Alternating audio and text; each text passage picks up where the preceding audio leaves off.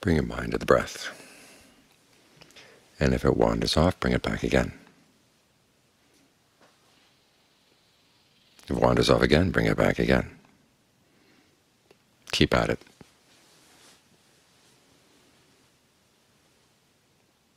What you're trying to do here is stitch together a strong state of concentration out of your normal little states of concentration.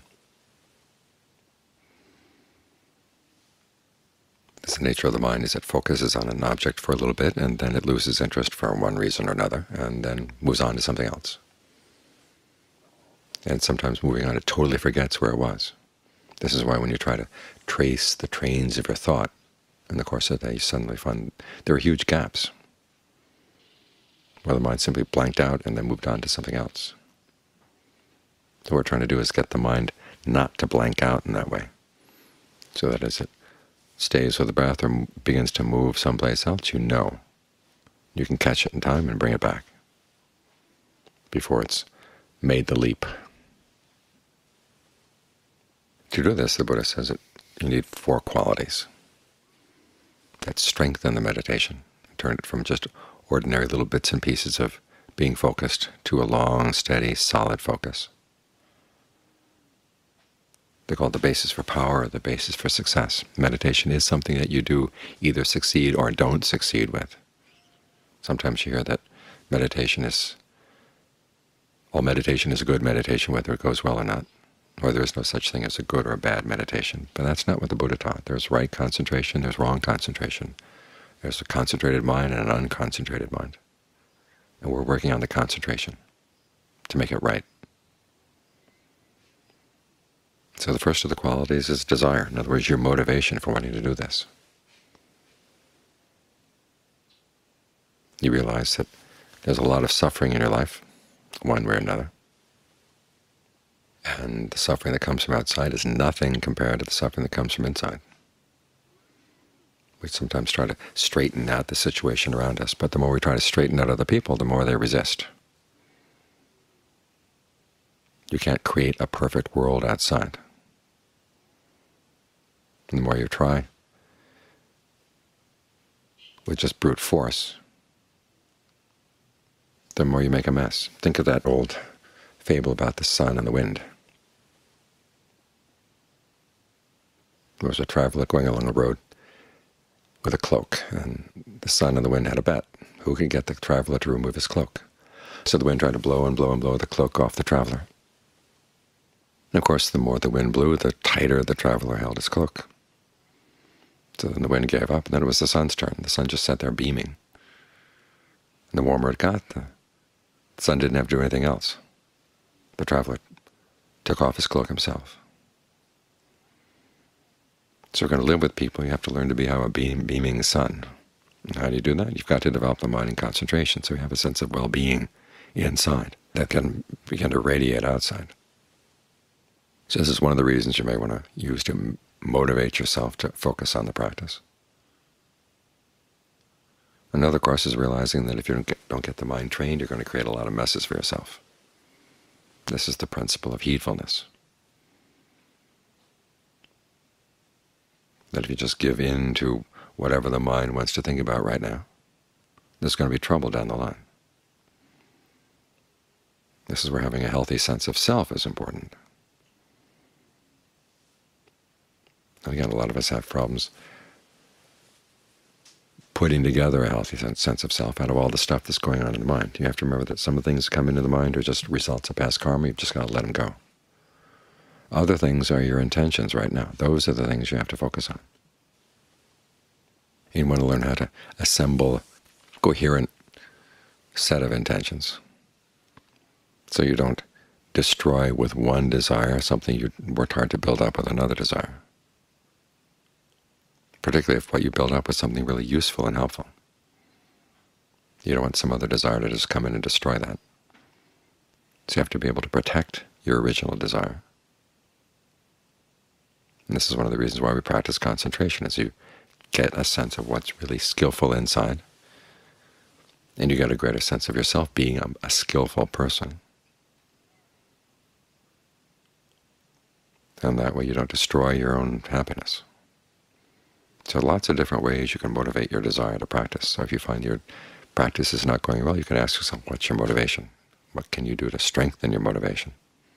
That's one of the bases for success. The second one is simple persistence.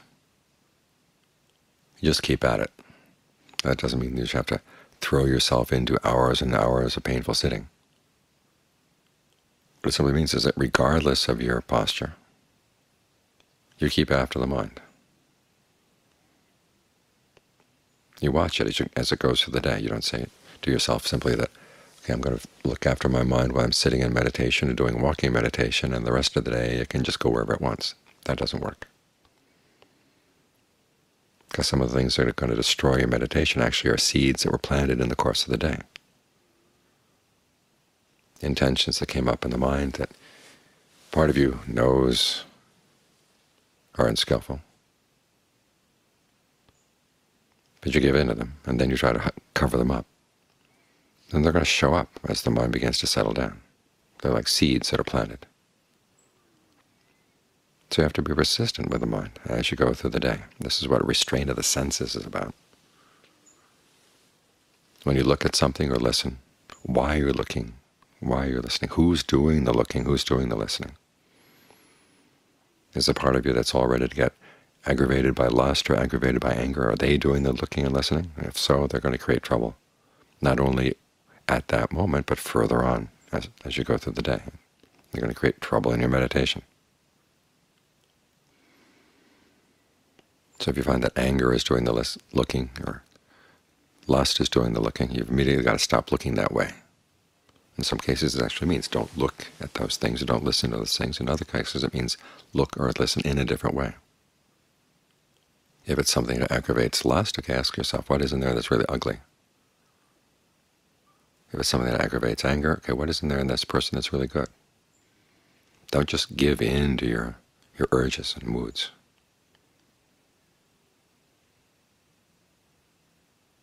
If you can keep settled with the mind in this way, as you go through the day, it strengthens your concentration. But you do need to have a sense of well-being to keep it going, otherwise it gets really dry and very tight. And things begin to break down. So you have to learn how to breathe in a way as you go through the day, not just while you're sitting here and meditating, but every breath coming in, going out. You want it to be comfortable.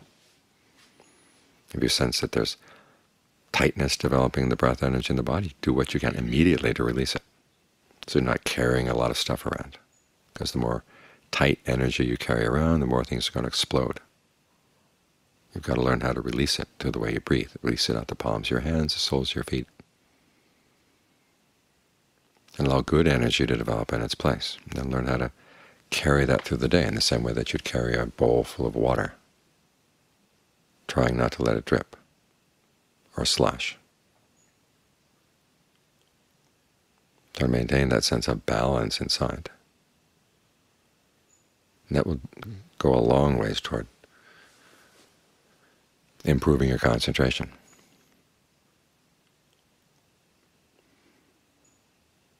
The third quality is intentness. What can you do to really give your full attention to what you're doing? This is where working with the breath is very helpful. Seeing that the way you breathe has an impact on the body, and the way the breath energy flows throughout the body can ex have extreme ex impact on what it feels like just to have a body as you're going around. And take, learn how to take an interest in that. We're talking today about the stage of concentration where you're beginning to settle down, but you're not fully implanted in the concentration. And that happens as things get more and more comfortable, and then you just kind of wallow in the comfort and drift off. It's the level of concentration, as I say, that is has no resistance to pleasure. So as things begin to get pleasant, then the next thing to do is work to gain an interest in what's going on. So once there's a sense of pleasure, what can you do to move it around the body? What can you do to let it expand? What ways of expanding the pleasure actually destroy it? What ways of expanding the pleasure allow it to grow and to glow? turn into a kind of radiance.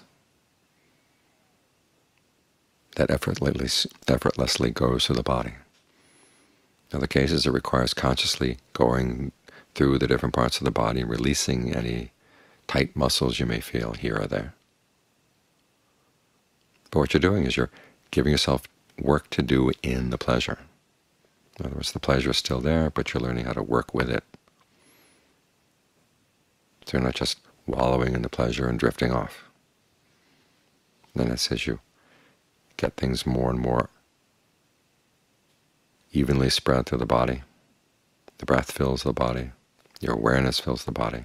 And you figured out all the little nicks and crannies and other problems that keep and get in the way of having this large, full body sense of ease and awareness.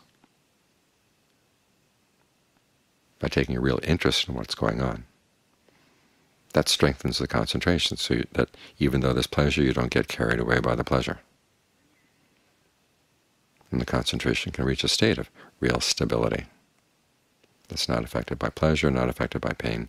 You're here fully in the present moment, and you feel like you belong. So these are some of the benefits of taking an interest in what it's like to have this sense in the body sitting here.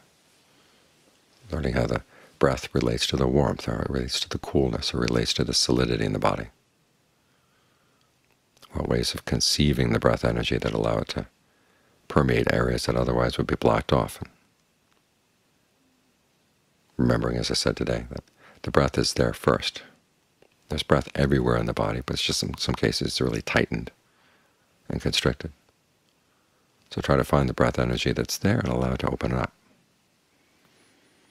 This moves into the fourth quality, which is basically your ingenuity, your discernment in how you approach this. One of the things that gets in the way of concentration is the fact that there are other intentions going on in the mind at the same time that you're trying to get the mind concentrated. You have to learn how to deal with them in such a way that they don't disturb the concentration. One of the worst things you can do is try to chase them off.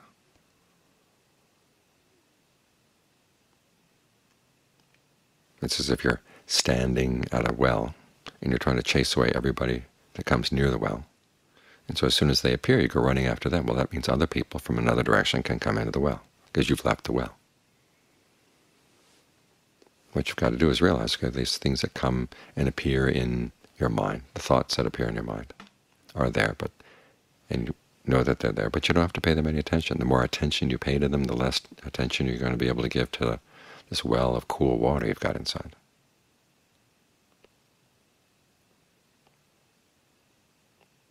And they come up, just say, okay, that's old karma. I don't have to get involved. And the less attention you pay to them, the less you feed them the more you try to fight them off, the more energy they get from you. It's like that monster that Hercules did battle with. Every time he threw the guy to the ground, the guy came springing back up with renewed energy. That's when he realized this person was actually a child of the earth. Every time he made contact with the earth, that's how he got his strength, and so that Hercules picked him up didn't let him touch the ground, and the guy lost his strength. Didn't have to fight him, didn't have to throw him down, just picked him up.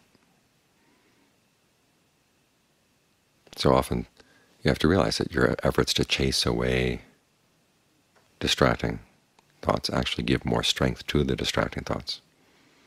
So in this case, you don't pick them up, but you just don't pay them any attention. And they'll say wild, crazy things to get your attention, but you say, nope, nope, nope. I'm going to stay here with the breath. Once you can make the distinction between present karma and past karma, and that's what a lot of those voices are, past karma. You remember that your present karma is what you've got to maintain, so the decision and the intention to stay with the breath is something you maintain. Let everything else go. This way you lighten your load considerably.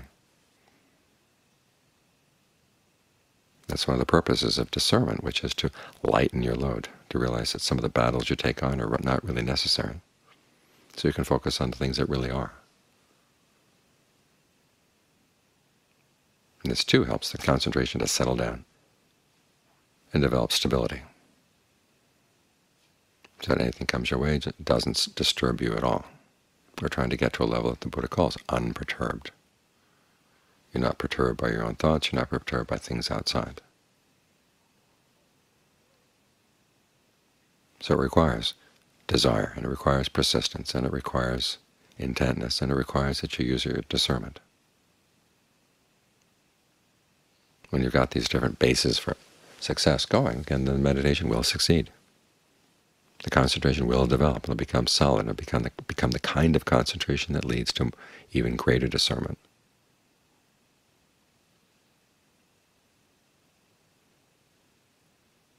So do your best to do the meditation well, because when it's done well, that it shows its true rewards.